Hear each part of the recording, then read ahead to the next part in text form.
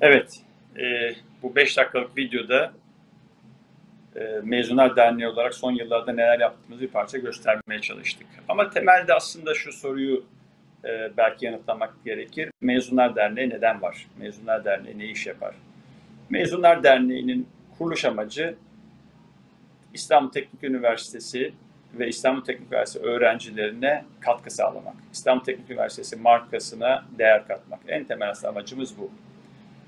Okulda yani üniversitede okurken e, hep şu gurur yaşadım. Teknik üniversitede okuyordum ve şöyle bir düşüncem vardı. Ya Türkiye'nin en akıllı insanları biziz galiba ve ben Türkiye'nin en akıllı insanlarıyla beraberim.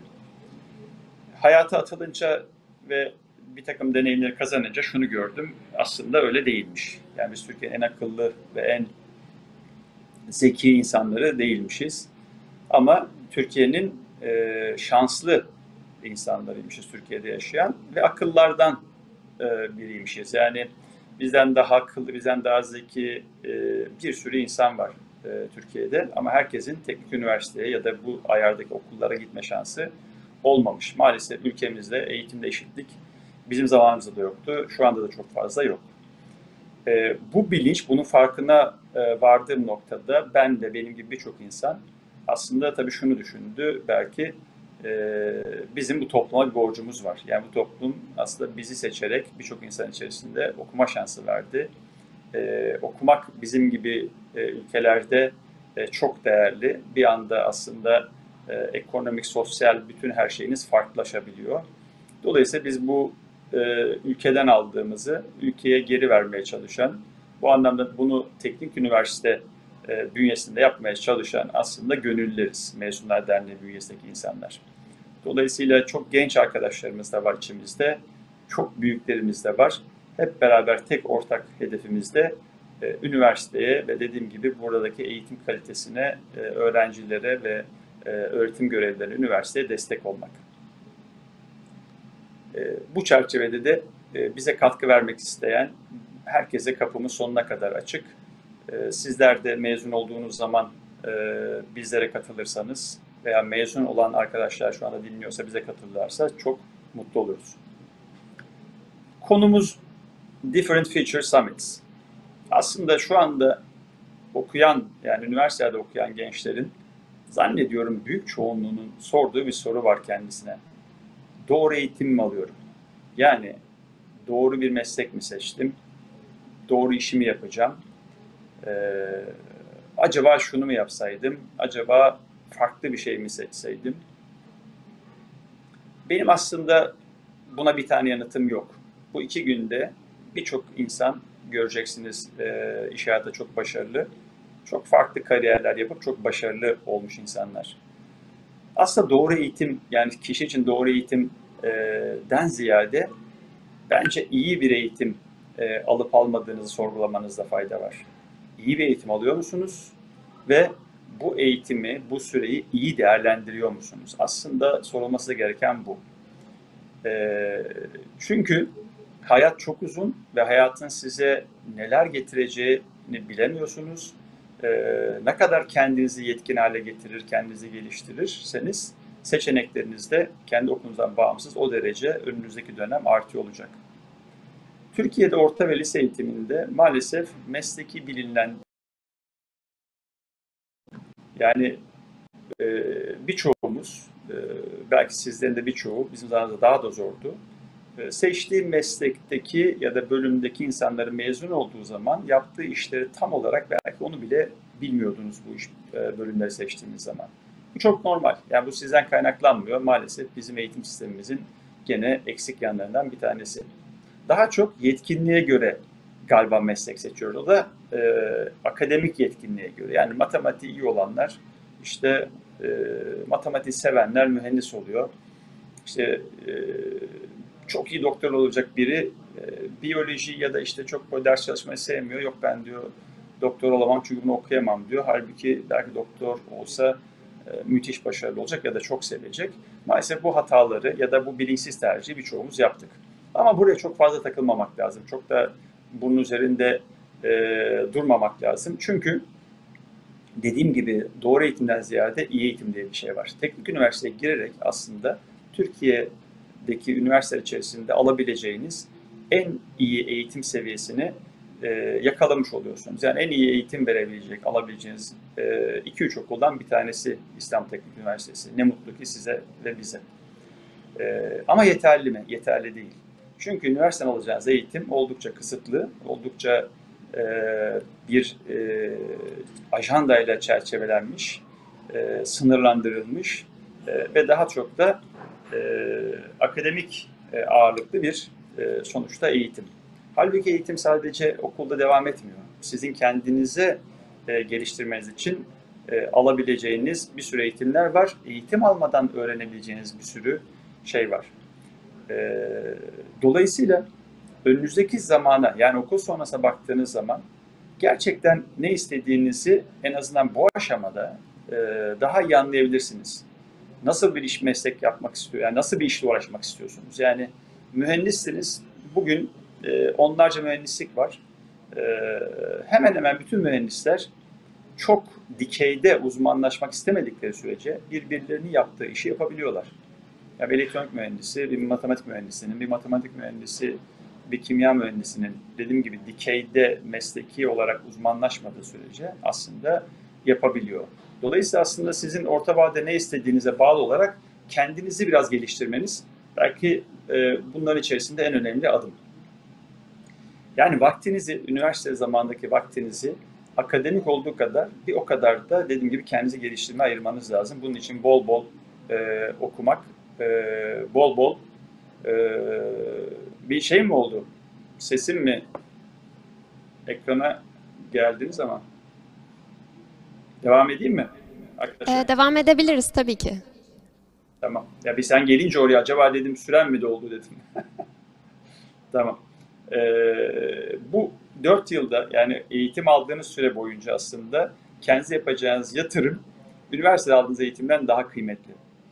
Ee, ne olabilir bunlar? Bir sürü şey yapabilirsiniz. Bir kere mesleki alanlar çok okuyabilirsiniz. Sosyal becerileriniz konusunda kendinizi geliştirebilirsiniz. Sosyal faaliyetlere katılmanız müthiş derecede önemli. Mutlaka bir şeyin parçası olun. Bir ilginizi çeken ne varsa, hangi hobiniz varsa mutlaka bunu ciddi yapın, düzenli yapın ve bunu yapan insanlarla birlikte olun. Kendi sınırlarınızı tanımaya çalışın. Kendinizi biraz bu konuda zorlayın.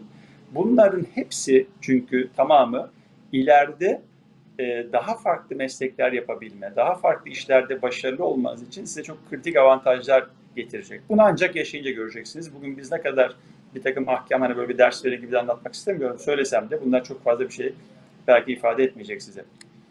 Orta vadede kariyerinizi yönlendirecek en önemli şeylerden bir tanesi.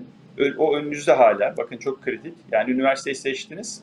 Diyorsunuz ki ya keşke şöyle yapsaydım, böyle yapsaydım diyen vardır eminim.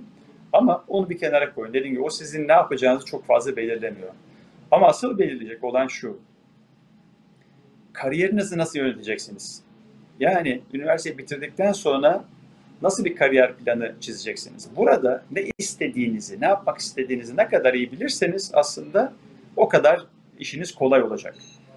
Ee, ikinci konu bunu yaparken en kritik konu da iş arama süreci, iş bulma süreci ve hayatınızda yapacağınız ilk bir, iki, maksimum belki de üç e, iş seçimindeki kararlarınız aslında üniversite seçimi kadar sizin için kritik olacak.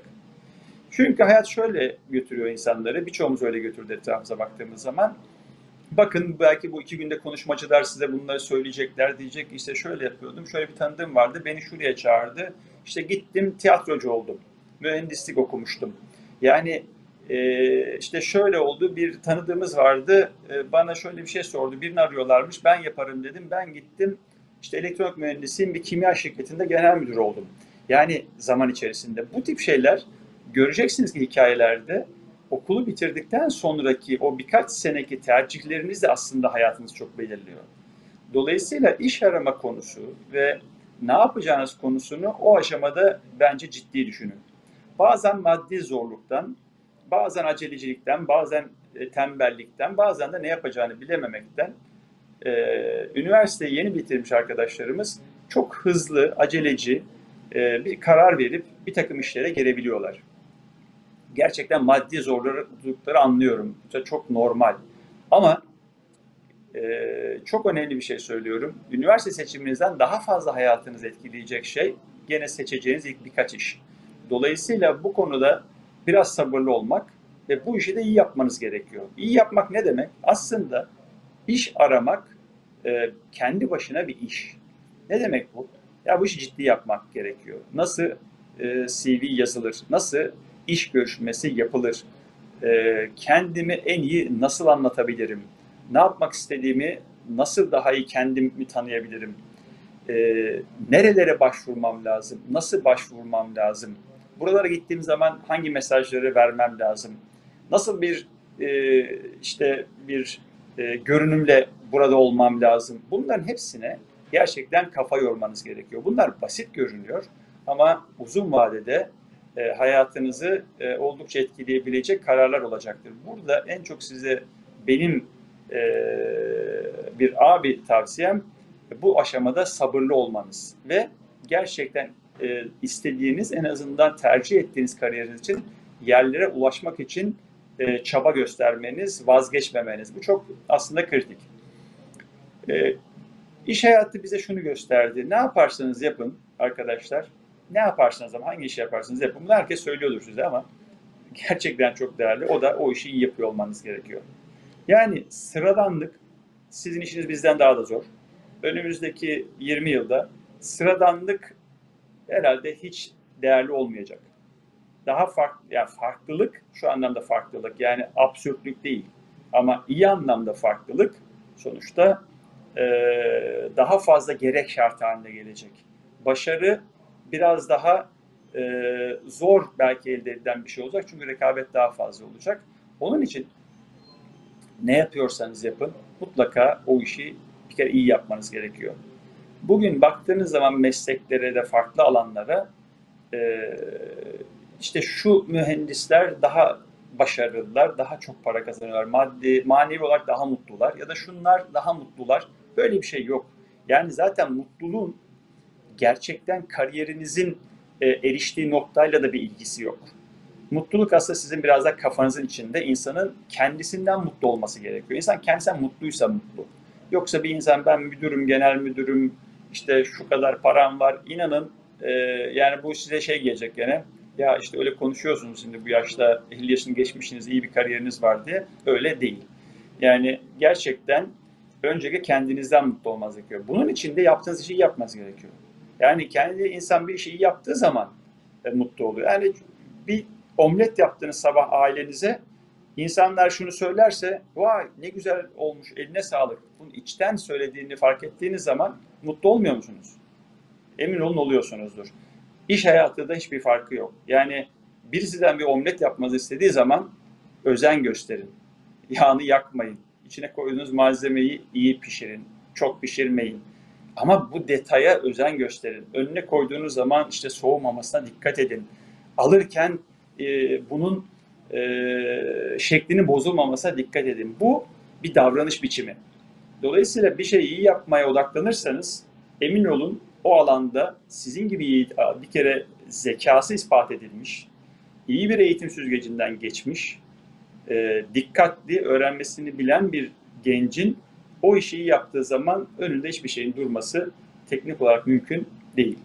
Bu anlamda e, ne istediğinizi ne kadar iyi anlar, doğru bir iş arama süreci geçirir ve bunu ısrarla, e, sabırla yaparsanız ve yaptığınız işi de iyi yapmak için buna emek verirseniz sadece iş saatlerinde değil, iş saatleri dışında da neden? Çünkü sevdiğiniz zaman bununla da vakit geçirebiliyorsunuz. O zaman çok daha e, başarılı olma şansınız var. E, galiba Çinlilerin hani bir şeyi var, bir sözü var. E, sevdiğin işi yap, hayatın boyunca çalışma diye. Ben bu konuda kendi adıma mesela şanslı oldum. Ee, çalışmak hiçbir zaman çok zor gelmemiştir hayatımda. Çünkü yaptığım e, işi genelde sevdim. Ama galiba daha derinden düşündüğüm zaman da iyi yaptığım işi ya da birilerinin bana bol bol aferin dedikleri zaman çok daha mutlu oldum. Hiçbir zaman bana o işlerde zor gelmedi. Ee, çok çok enteresan size bir de başka bir açı göstermek istiyorum. Kapatmadan sanıyorum birkaç dakikam daha var. Değil mi? Ee, şimdi benim e, bir dedem vardı. E, annemin babası 100 yaşında kaybettik. Kaybedildi yaklaşık 10 sene oldu. Yani şimdi yaşasaydı 110 yaşında olacaktı. Muhteşem bir adamdı. E, Anadolu'nun küçük bir yerinde yaşadı. Bütün hayatı boyunca. Bir gün bir şey oldu. Bir sehpa vardı. Onların evindeyiz. Çok da severdim onlara gitmeyi. E, annem dedi ki aman dur dedi onu dedi kırma yani bir şey olacak. O dedi deden yaptı onu dedi. E, ama çok güzel bir şey e, mobilya. E, nasıl ya dedim. Dedem dedim manifaturacı değil mi? E, yok dedi deden dedi marangoz dedi. Nasıl dedim ya ben hiç baba dedi marangoz olduğunu bilmiyorum ki dedim. Oğlum dedi deden dedi 40 yıl marangozluk yaptı dedi. Nasıl dedim? 40 yıl marangozluk yaptı dedi. 40 yılda manifaturacılık yaptı. O gün böyle kafamda şimşek çaktı böyle şey olarak. Dedim ki ya vay be dedim hayat ne kadar uzun.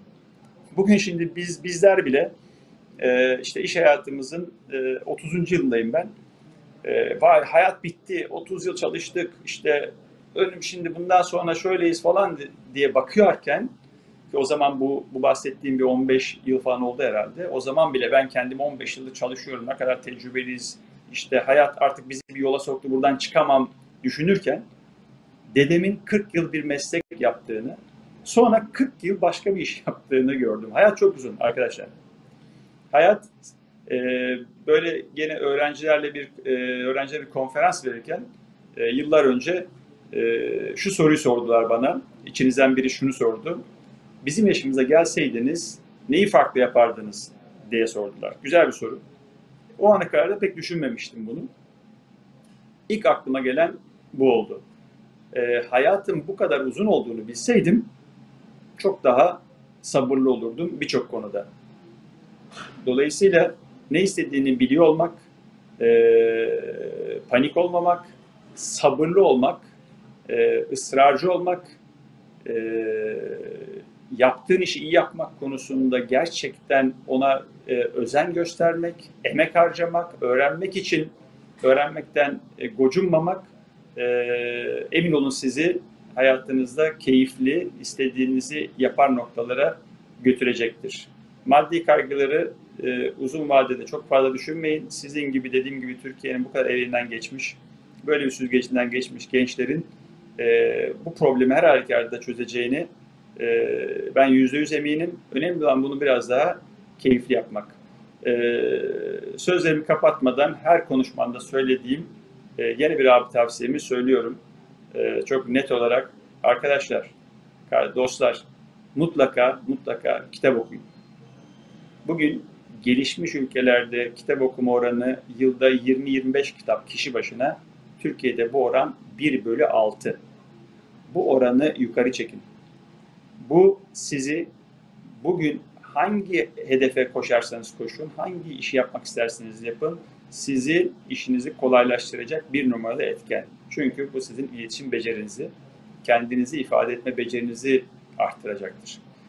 Bunu arttırmadan, dünyanızı, vizyonunuzu genişletmeden, hayal dünyanızı genişletmeden herhangi bir işi çok iyi yapma şansınız zaten emin olun olmayacak. Dolayısıyla bunu yapın bunun karşı tezatı neyi yapmayın derseniz ne olur ama ne olur şu anda televizyonlarda sabah akşam oynayan abuk subuk dizileri izleyip en önemli zamanlarınızı, kendiniz ayırabileceğiniz en değerli zamanlarınızın olduğu yaşları e, bunları heba etmeyin. Yani e, bunlar gerçekten kendinize e, yani hani sigara alışkanlığı kadar kötü alışkanlıklar bunu niye diyeceksiniz ki ya birden nasihete başladı. İnanılmaz hakikaten e, üzülüyorum gençlerin bu dizi e, şeyinde girdabında kaybolması, işte kitaptan okumaktan, öğrenmekten uzaklaşması. E, ne olur ne olur buna çok dikkat edin. E, şunu son olarak söylüyorum. Böyle bir toplantıya gelip dinliyorsanız doğru yoldasınız. E, kendinizi tanımaya çalışıyorsunuz, öğrenmeye çalışıyorsunuz. Müthişsiniz hayal ettiğiniz şeye ulaşacaksınız. Ben buna eminim. Organizasyonu yapan e, Derneği kulübü e, kardeşlerime çok çok teşekkür ediyorum. İyi ki varsınız. E, sizlerle gurur duyuyoruz. Gurur duyuyorum. e, bu organizasyonu kurarken hayal ettiğimizin çok ötesinde bir noktaya getirdiniz bizi. Bunun için de emek veren hepinize çok çok teşekkür ediyorum. Yönetim kurulundan destek veren arkadaşlarımın hepsine çok teşekkür ediyorum. Bu iki günde e, başarılı bir etkinlik diliyorum. E, zannediyorum benden sonra Bülent Hocam sözü alacak. Bülent Hocama da hoş geldiniz diyorum. E, hocam iyi ki geldiniz. E, keyifle sizi dinleyeceğiz. Teşekkür ederim arkadaşlar.